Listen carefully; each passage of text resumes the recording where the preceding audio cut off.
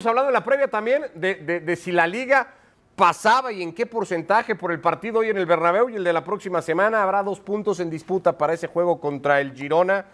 Ahí se va a jugar la liga para el equipo de Michel y ¿Cómo- para el equipo de Carlo Ancelotti. ¿Cómo es el fútbol, no?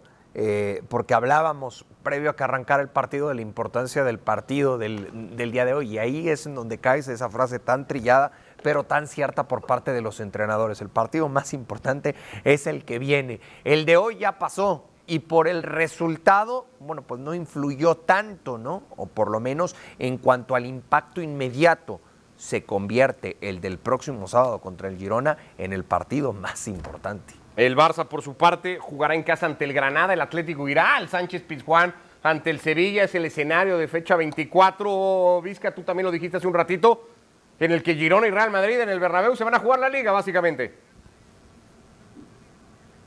Básicamente, es el, último asalto directo y, veremos allí en ese último round directo quién sale mejor parado.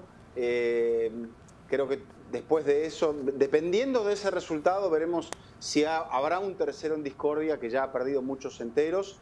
Pero a mitad de semana también, eh, primer round de las semifinales de la Copa del Rey, también eso puede llegar a pesar. El Atlético jugaba este partido con la mente puesta en eso y quejándose ante la liga de lo que fue la calendarización, porque el Atlético de Bilbao jugó el viernes. Entonces, el Atlético, eh, que venía de recuperar un partido, también tenía ese, ese elemento.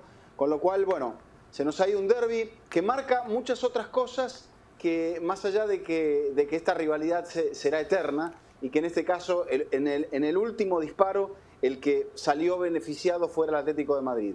Pero el Real Madrid, el Atlético de Madrid terminó encajando más disparos entre, entre postes, terminó haciendo que Lunin fuese un protagonista importante del partido, más allá de que el Real Madrid generase mucho más ofensivamente y tuviera más la pelota.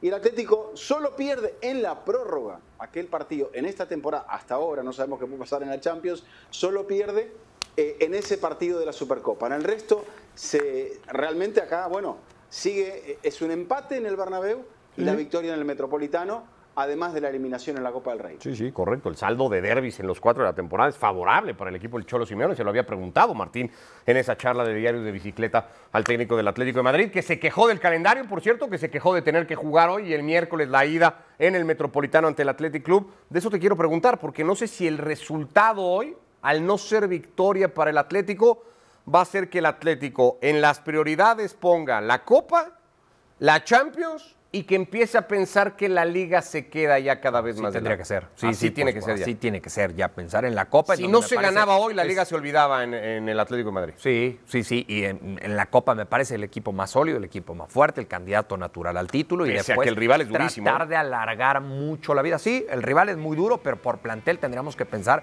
en el Atlético de Madrid como el favorito. Y en Europa tratar de ir alargando la vida. Bueno, pues veremos qué sucede. De momento hoy el derby, saldado con empate a uno entre el Real Madrid y el Atlético de Madrid.